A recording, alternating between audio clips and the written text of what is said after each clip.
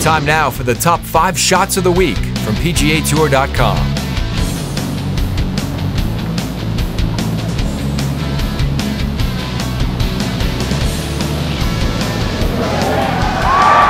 It's hard to see it when it disappears. Great shot by Sluman.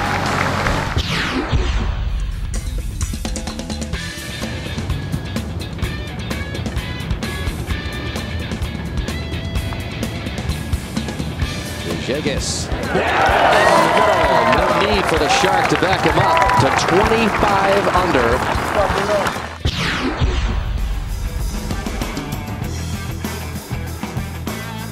On the tee at the short par 4 10th, long hitting JB Holmes from Kentucky.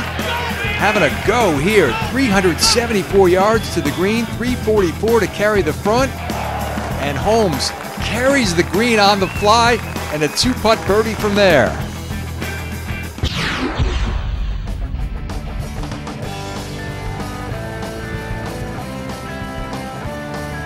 At the par 3 12th, Weekley coming out of the bunker. And he has a hole out.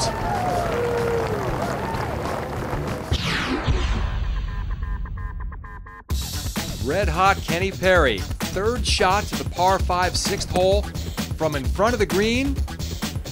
Bottom of the cup for an eagle. He and partner Scott Hoch would move to 23 under par.